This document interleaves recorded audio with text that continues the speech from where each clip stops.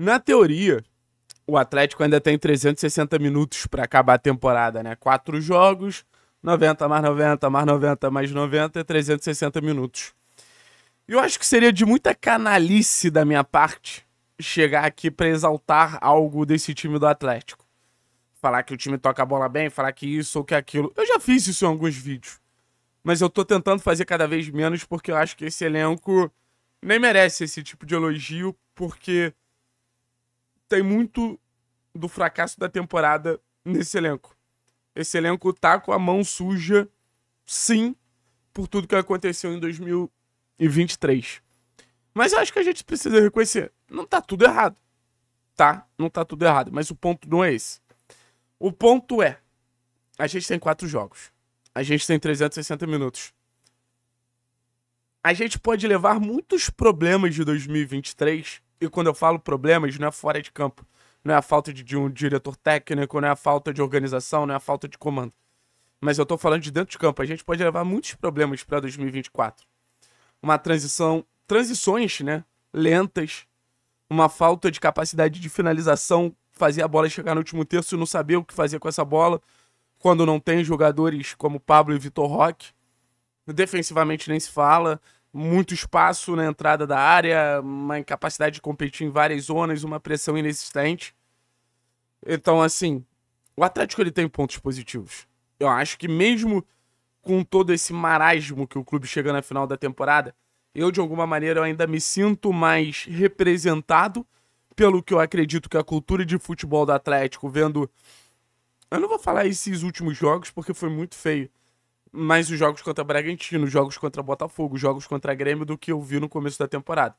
Eu não quero ver nunca mais o Atlético dando bico pro lado para tentar sobreviver. Ah, Thiago, mas se isso for representar briga por título? Aí, aí é aquilo, né? É, você vai optar por uma briga pontual ou por um modelo de jogo que vai te levar longe se você tiver um pouco mais de paciência. Eu sei que o futebol brasileiro ele é imediatista e é natural que ele escolha o, o caminho mais rápido, mas eu, Thiago, eu gostaria de ver um caminho diferente. Mas enfim, esses tantos problemas que a gente ainda tem no time de 2024, do time de 2023, eu acho que a gente pode usar esses últimos quatro jogos para tentar arrumar minimamente que seja pensando aí sim em 2024. Então, é mais ou menos o conceito que eu trago aqui do vídeo para vocês um Atlético de muitos problemas, um Atlético de muitas questões, ele precisa, pelo menos nesses últimos quatro jogos, onde parece que o clube só vai tentar garantir esse sétimo lugar, ele precisa de alguma forma, eu não sei qual, mas de alguma forma, encontrar soluções. Encontrar solução lá atrás. Como, por exemplo, acho que de alguma forma, nessa reta final de temporada, a gente descobriu o Kaique Rocha. A gente descobriu um zagueiro que pode ajudar. A gente sabia que o Kaique Rocha tava lá, mas um zagueiro de boa, um bom jogo aéreo, um zagueiro de boa em posição física, um zagueiro até de alguma mobilidade, mesmo sendo altão, grandão, eu acho que é um exemplo de, de, de solução pra gente levar em consideração. Porque há três, quatro meses atrás, eu contava o Kaique Rocha como uma dispensa certa do elenco do Atlético. Agora eu já vejo, pô, esse cara pode ser um bom banco pra temporada que vem. Então já é um caminho. Ah, Thiago, mas qual solução a gente pode pensar. Quer, quer um exemplo? A pressão inicial. Saída de bola do adversário. Eu acho que tem três jogadores que, se forem titulares, podem ajudar e colaborar muito na pressão e até mesmo compensar, por exemplo, o Zapelli e Bueno, que são. não tem característica de pressionar. Mas a gente, por exemplo, volta a ter à disposição dois dos jogadores que, segundo as pesquisas do clube em grau de intensidade, são os que mais têm capacidade de correr, de disputar, de competir que é Christian Canobi. E eu boto o Coelho nesse sentido. Também que eu acho que é um cara voluntarioso, um cara com essa capacidade. Imagina se a gente começa a pressionar melhor já nessa temporada. O próximo treinador que chegar já vai ter uma herança melhor. E é um Atlético que pressiona muito mal. Mas, pô, você tendo o pulmão do Christian, você tendo o pulmão do Canobi, você tendo o pulmão do Coelho, você pode dificultar um pouco mais a saída de bola do adversário. para você levar em consideração, uma das vitórias mais simbólicas que a gente teve nessa reta final de temporada foi contra o Grêmio. Você lembra como foi a falta que gerou o gol do Kaique Rocha, inclusive? Foi uma pressão muito bem feita do Coelho no Ferreirinha. Então, assim, é algo que eu acho que a gente pode acrescentar ao nosso jogo. Eu acho que a gente pode ter transições mais rápidas. O Atlético ele demora muito para chegar no ataque, demora muito para chegar na defesa. E eu acho que isso também tem a ver um pouco com esses jogadores, Canóbio, Coelho, Christian, o próprio Eric. Quando você tem um time com Fernandinho, Bueno e Zapelli, é um time muito estático, é um time que sabe tocar bola, é um time que sabe valorizar a posse, mas é um time que se movimenta pouco dentro de campo.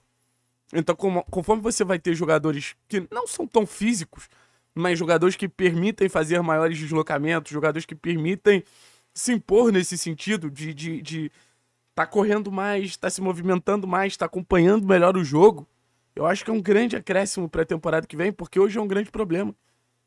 O Atlético, ele é um time extremamente lento. E, cara, lentidão hoje no futebol significa competir menos. Aí a gente chega na defesa, que talvez seja o grande problema. E olha que a gente está falando de setor ofensivo.